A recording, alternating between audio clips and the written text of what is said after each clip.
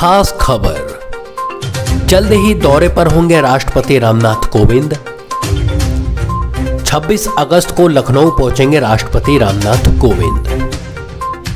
बाबा Bhimrao Ambedkar university के दीक्षांत समारोह में होंगे शामिल, जिसके बाद 27 अगस्त को लखनऊ में सैनिक स्कूल की हीरक जयंती वर्ष पर पोस्टल स्टाम्प का करेंगे विमोचन। तो वही राष्ट्रपति स्कूल की 1000 की क्षमता वाले आधुनिक प्रेक्षा गृह का करेंगे लोकार्पण।